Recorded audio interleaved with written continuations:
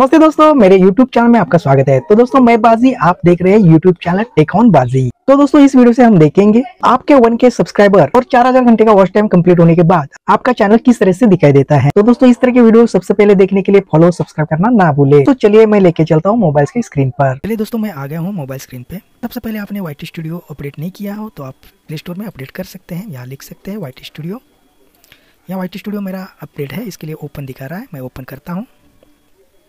तो दोस्तों ओपन करने के बाद इस तरह से आपको इंटरफेस दिखाई देता है। दोस्तों, मेरा सेकंड चैनल मोनेटाइज है।